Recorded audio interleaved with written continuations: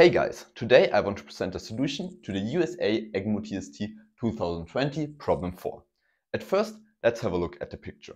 We have given a triangle ABC and a point D on side BC. Now, the circumcircle of ABD intersects the side AC at a point E and the circumcircle of triangle ABC intersects the side AB at a point F. In the next step, we draw in the line AD and intersect it with the circumcircle of triangle ABC a second time at a point P.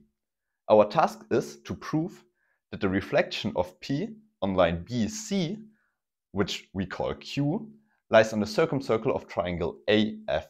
The main difficulty in this problem is to deal with this reflection point Q.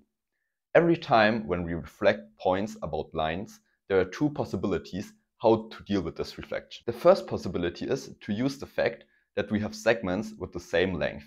For example, BP is equal to BQ and PC is equal to QC. The second possibility is to deal with angles of equal size.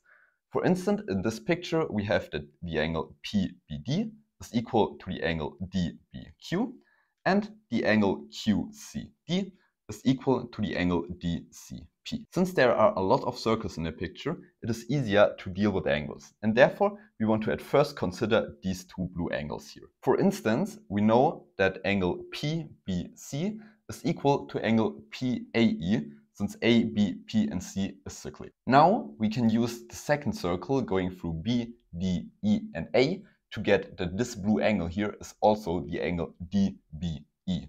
In total, since the angle DBQ is equal to the angle DBE, we know that B, Q, and E must be collinear. In the same way, we get that this angle here, FAD, is equal to the red angle QCB, and therefore the points C, Q, and F are collinear. Now we figured out enough to say something about the angle EQF. Namely, we know that angle EQF is equal to angle BQC. So this is angle BQC. And since Q is a reflection of P about line BC, this is equal to angle CPB, which is this one here below.